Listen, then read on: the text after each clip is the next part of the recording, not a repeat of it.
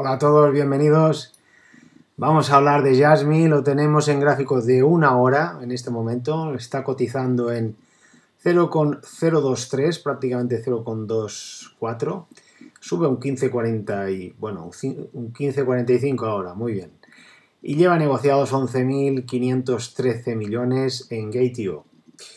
Eh, bien, eh, dar las gracias a Alejandro Vivar, nos ha hecho llegar una noticia que nos comentaba que en, Jazz, eh, que en Binance ayer pusieron a cotizar a Jasmine en futuros. Muy buena noticia, esto dará un poco más de alegría al mercado. Muchas gracias por hacernos llegar la buena, la buena noticia. Bien, el valor realmente sí que estamos en positivo, estamos en, un principio de, de segunda onda de Elliot en un principio alcista.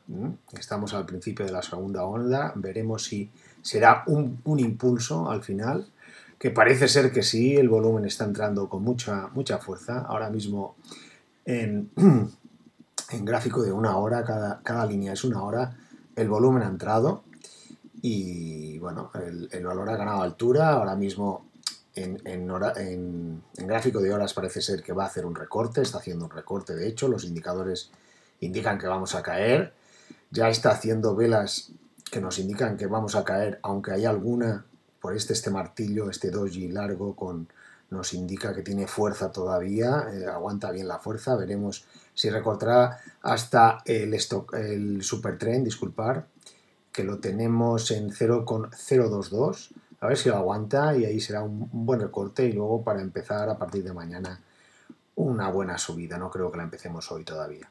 Bien, eh, la, tengo en gráfico de horario por los que hacéis, hacéis eh, análisis técnico y luego miráis y tal. Os voy a, voy a enseñar una cosa que es importante a tener en cuenta. La fuerza del ADX.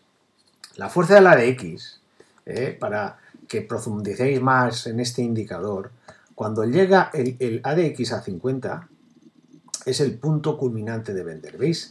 ¿Veis que ahora el ADX está en 53 en este momento aquí? Está en 53.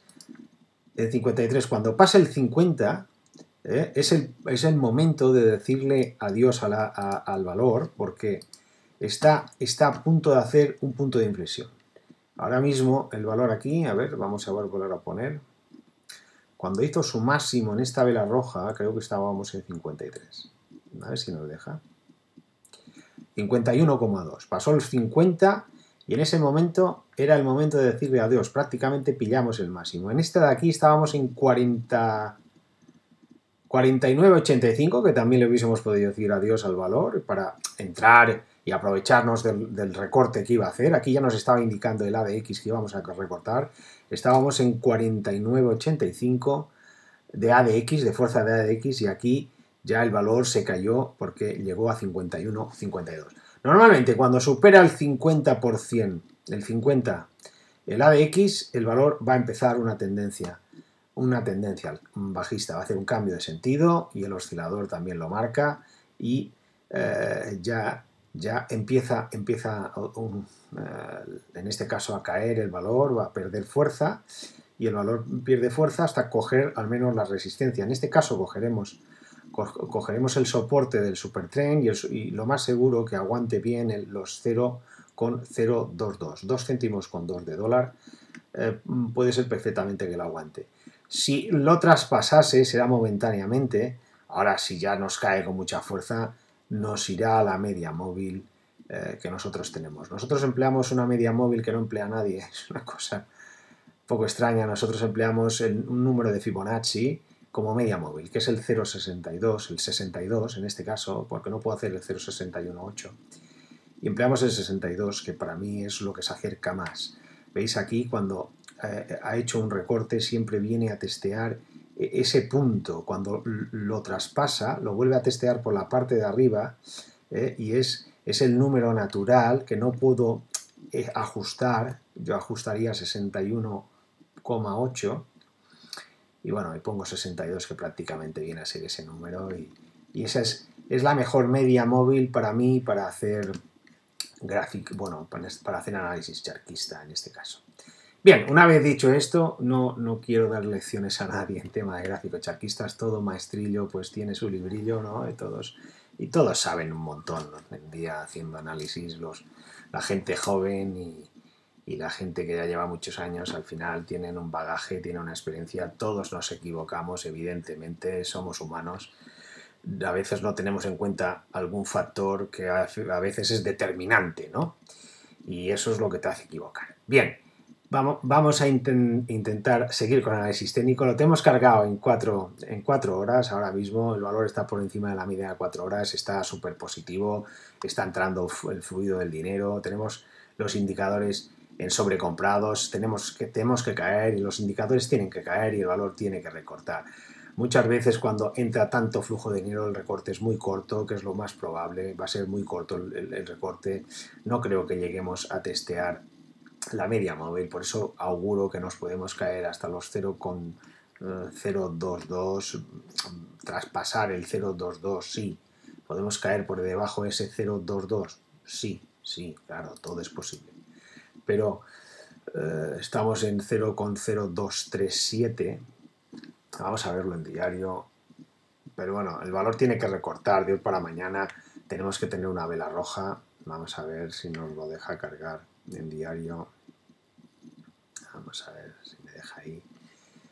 Si me deja ahí cargarlo en diario. Bueno, vayamos a verlo aquí en diario que lo tengo en, en TradingView.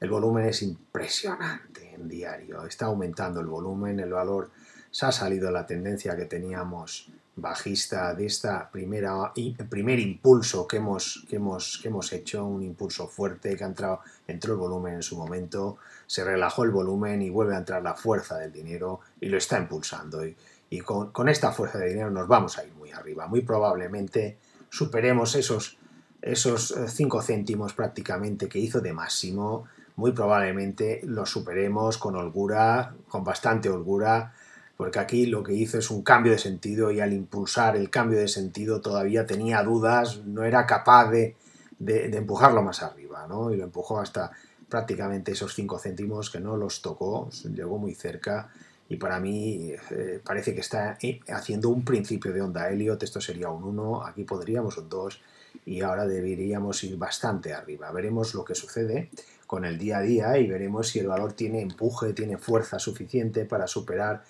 esos 5 céntimos. Si superásemos esos 5 céntimos, el valor nos iríamos bastante arriba. Esperemos que, lo superemos y vayamos mucho más arriba, que nos dará esto pues alegrías a todos.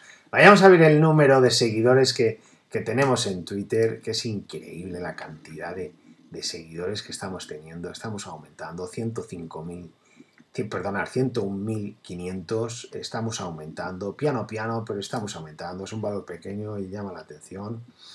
Y también en holders, en Etherscan 24.836, hemos aumentado prácticamente 200 holders, la gente está entrando, que esto es lo, lo, más importante, que los de dentro estén comprando, eh, que es lo que parece ser que está pasando, y que los de fuera estén entrando y se juntan los de dentro y los de fuera para que el impulso de valor pues gane altura y nos, van, nos mande el precio pues prácticamente a las nubes. A ver si es así, qué es lo que deseamos todos y esperamos.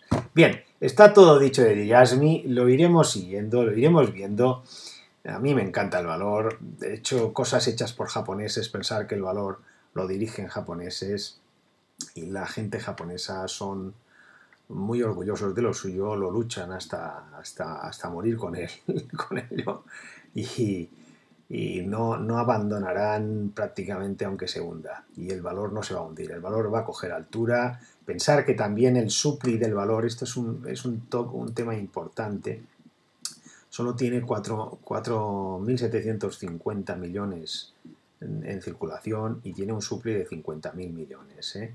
Pero bueno, esto cuando coja altura el valor, pues añadirán supli me imagino, ¿eh? y eh, diluirán el precio que tenemos en este caso del valor, pero claro, el valor tiene que ganar mucha más altura eh, de la que tenemos aquí. Si lo vemos en, en semanal, podéis comprobar que el valor llegó prácticamente a los, a los 3 a los 3, no, a los 30 céntimos, creo recordar, no, no, no lo recuerdo Vamos a ver si podemos ir bajando, ir bajando, ir bajando. Aquí está. Sí, sí, a los 3 dólares. Llegó a los 3 dólares. Pasó los 3 dólares prácticamente el primer.